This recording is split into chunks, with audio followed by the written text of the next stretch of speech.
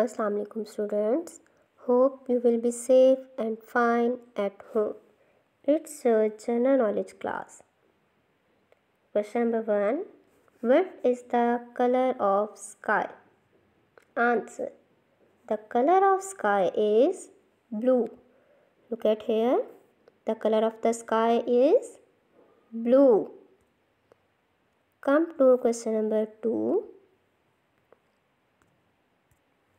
How many days are there in a week? There are seven days in a week.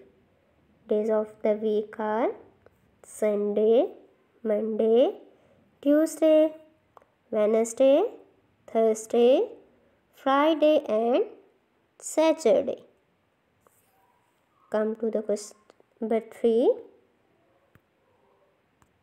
Question number 3 is how many months are there in a year?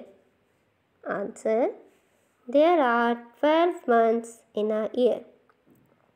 Months of the year are January, February, March, April, May, June, July, August, September, October, November, and December.